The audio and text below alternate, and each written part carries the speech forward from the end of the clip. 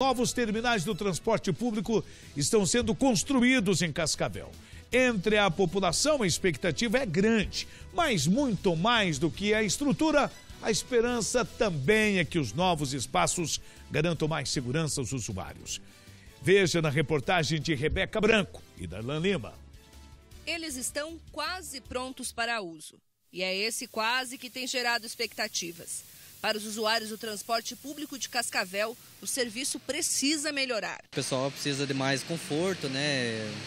Mais espaço também, né? E mais ônibus também para melhorar, né, a situação do É lotado na hora lotado. Na hora de pico é muito cheio, né? Daí, daí tem muitos uh, bairros que não tem bastante ônibus, né? Daí complica. Os terminais leste e nordeste já estão prontos. O novo terminal leste custou quase 4 milhões. A construção foi feita no bairro Pacaembu. Acabou há meses, mas até agora o terminal está assim, vazio.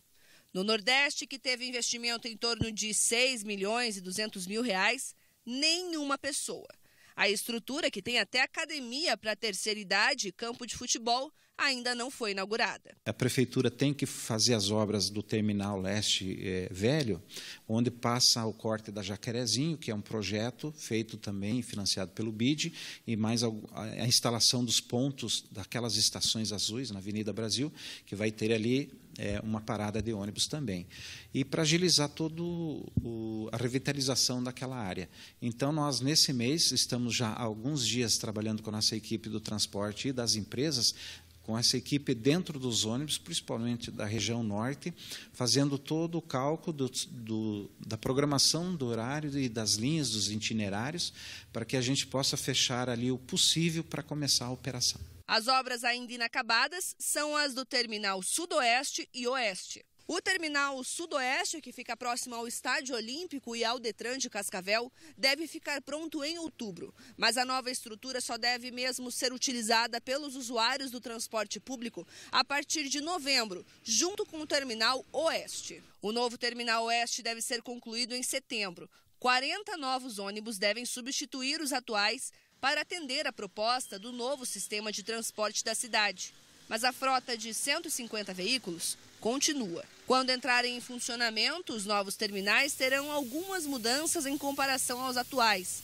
Eles não terão mais os quiosques de comércio, mas devem ter bancos e banheiros melhores, câmeras de monitoramento e guarita, mas sem guarda confirmado por enquanto. Se a gente tinha vontade de ter quatro ou cinco, talvez vamos ter dois ou três, porque está bem limitado. Então, estou conversando com a Secretaria de Segurança para que faça um planejamento do número possível que seja para termos lá. Para a população, muito mais do que estrutura, os novos terminais urbanos de Cascavel precisam garantir mais segurança. Às vezes a gente chega nesse terminal aqui, tem uns caras noiado, bêbado. Quando desce do ônibus, você está tá sempre cuidando as pessoas, né? Porque até minha cunhada já foi roubada aqui dentro do terminal também, o celular dela. E é muito perigoso também. Eu acho que tem que ter mais segurança também dentro dos terminais.